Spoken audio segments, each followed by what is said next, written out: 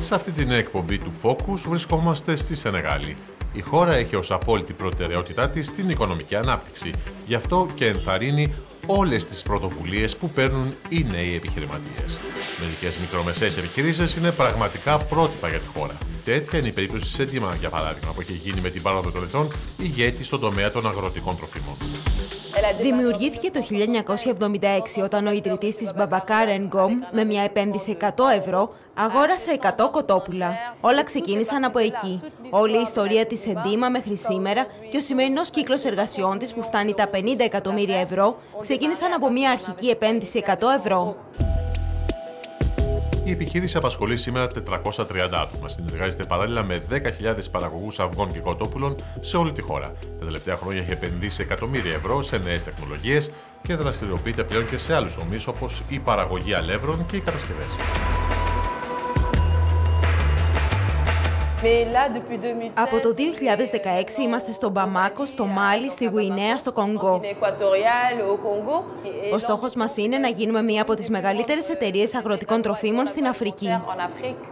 Η War είναι μια σενεγαλέζικη startup που ξεκίνησε το 2008 από δύο νέους επιχειρηματίες. Σήμερα είναι μια τεράστια ψηφιακή πλατφόρμα οικονομικών υπηρεσιών που δραστηριοποιείται σε 60 χώρες. Έχει δημιουργήσει ανάμεσα στις άλλες υπηρεσίες που προσφέρει και ένα σύστημα μεταφοράς χρημάτων. Γίνονται περισσότερες από ένα εκατομμύριο συναλλαγές την ημέρα. Σήμερα η Wari έχει καταφέρει να δημιουργήσει κάτι πρωτοποριακό. Έχει επιτύχει επίσης να πλασαριστεί σε μέρη όπου υπήρχαν μόνο οι μεγάλες πολυεθνικές εταιρείες.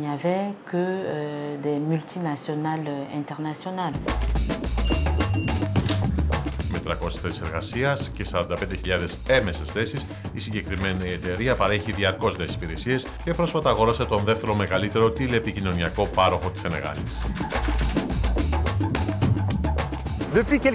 Εδώ και κάποια χρόνια η Σενεγάλη παρουσιάζει πολύ καλό ρυθμό ανάπτυξης ανάμεσα στο 6 και το 7%. Η χώρα στοχεύει να πιάσει ένα διψήφιο ποσοστό ανάπτυξης. Αλλά πέρα από τα νούμερα, οι Σενεγαλέζοι θέλουν να αισθανθούν και στη ζωή τους αυτή την ανάπτυξη. Θέλουν δηλαδή η ανάπτυξη να συνοδεύεται από ποιότητα, χωρίς αποκλεισμούς.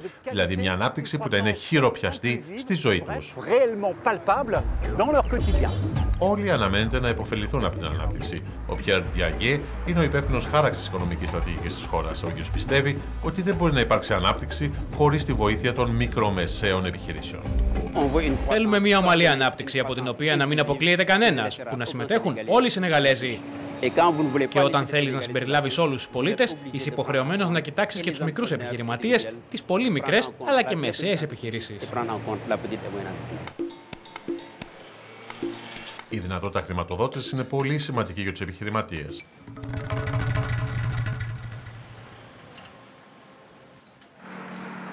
Στη Σενεγάλη έχει δημιουργηθεί μια αναπτυξιακή τράπεζα και έχουν δοθεί ειδικά κονδύλια. Στόχος η ενίσχυση της καινοτομίας. Αυτές οι ηλεκτρονικές πλατφόρμες θα γίνουν λειτουργικές με την εφαρμογή της τηλεπληρωμής, που θα προσφέρει στη Σενεγάλη μια μοντέρνα διοίκηση με μηδέν χαρτούρα. Θα υπάρχει διαφάνεια, αποδοτικότητα και ασφάλεια. Στόχος είναι επίσης η πιο γρήγορη σύνδεση με το σύστημα υδροδότησης και ηλεκτρικού ρεύματος για τους κατοίκους της χώρας. Για σύνδεση με το σύστημα υδροδότησης περάσαμε από τις 75 ημέρες στις 20. Για το ηλεκτρικό ρεύμα από τις 80 στις 48 και μειώθηκε κατά 10% το κόστος του ρεύματος. Τολμούμε να επενδύσουμε σε πολύ απομακρυσμένα χωριά. Φτάσαμε για παράδειγμα μέχρι το Νοτό, σε μια περιοχή όπου μέχρι πριν λίγα χρόνια δεν υπήρχε νερό ούτε ρεύμα. Σήμερα, χάρη σε όλες αυτές τις υποδομές, μπορέσαμε να στήσουμε ένα νέο εκολαπτήριο με δυνατότητα 40 εκατομμυρίων κοτόπουλων το χρόνο. Αυτές οι ιστορίες επιτυχίας έχουν δημιουργήσει μια σπουδαία δυναμική σε όλη τη χώρα.